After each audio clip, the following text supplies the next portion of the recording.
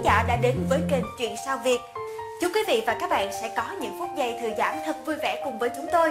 Và đừng quên nhấn vào nút đăng ký bên dưới và chuông thông báo để được xem những tin tức mới nhất mỗi ngày nhé. Và bây giờ, xin mời quý khán giả chúng ta cùng đến với những tin tức nổi bật nhất trong ngày. Tường Vi bất ngờ đạt danh hiệu Hoa hậu du lịch thế giới 2019 yêu thích nhất.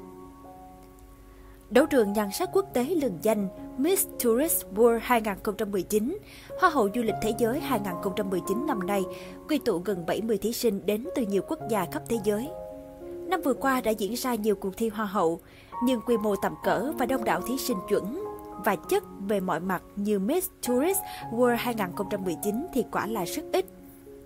Chính vì thế, khi được cấp phép chính thức đại diện Việt Nam tham gia cuộc thi này, Huỳnh Thị Tường Vi đã chịu không ít áp lực.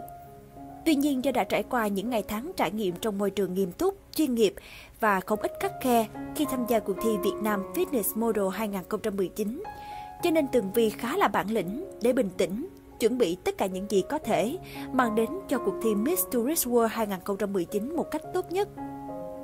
Tường Vi cũng tự nhận rằng mình rất may mắn khi được cả một ekip hùng hậu hỗ trợ từ phần trang phục cho đến kiến thức. Các nhà thiết kế như Nam Phong, thương hiệu Coco and Papa, nhà thiết kế Tuấn Huỳnh, thương hiệu Dinos, thương hiệu thời trang áo cưới Hùng Kama, trung tâm Anh ngữ Speak Only, thương hiệu thế giới đồ tập, cũng là những đối tác đồng hành cùng Việt Nam Fitness Model. Chính vì thế, cả ekip đã biết được Tường Vi là một trong những nhân tố sáng giá và quyết định hết mình hỗ trợ Tường Vi mang chuông đi đánh xứ người. Đã qua khoảng thời gian 3 tuần lễ diễn ra các hoạt động cũng như các phần thi phụ của cuộc thi, thí sinh đại diện Việt Nam đã để lại ấn tượng sâu đậm trong lòng các thí sinh, ban tổ chức, ban giám khảo. Bởi Tường Vi luôn hăng hái tham gia tất cả mọi hoạt động của cuộc thi. Cô luôn thân thiện, hòa nhã với tất cả các thí sinh và còn chuẩn bị quà tặng quê hương là những chiếc nón lá xinh xắn để tặng bạn bè đến từ khắp năm châu. Lần đầu tiên tham gia chinh chiến tại một cuộc thi nhan sắc mang tầm quốc tế với số lượng thí sinh đông như thế, Tường Vi tuy đã nỗ lực rất nhiều, nhưng sức ép mà cô gánh chịu quả thật không ít. Tuy nhiên mọi cố gắng luôn được đền đáp xứng đáng khi tên của cô cùng hai tiếng Việt Nam thân yêu liên tiếp được vang lên trên đấu trường nhan sắc giành giá Miss Tourist World 2019. Vào đêm ngày 6 tháng 10, tại Thành Đảo, tỉnh Sơn Đông, Trung Quốc, Huỳnh Thị Tường Vi đã xuất sắc đạt được danh hiệu Hoa hậu du lịch thế giới 2019 được yêu thích nhất. Chưa dừng lại ở đó, Tường Vi còn được trao thêm danh hiệu Hoa hậu du lịch thế giới ăn ảnh, Hoa hậu du lịch thế giới có trang phục đẹp nhất.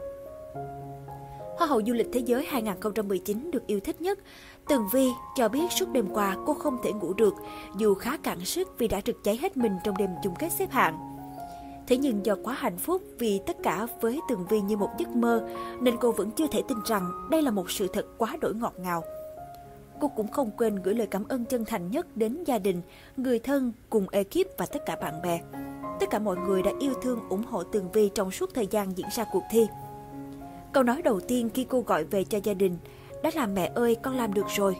Con cảm ơn cha mẹ và gia đình mình đã bán bò cho con có lộ phí lên đường đi thi con đã không uổng sự kỳ vọng của gia đình và những người yêu quý con. Xin chân thành cảm ơn quý vị và các bạn đã quan tâm và theo dõi video. Hãy nhấn vào nút đăng ký bên dưới để được theo dõi những video mới nhất được cập nhật mỗi ngày quý vị nhé.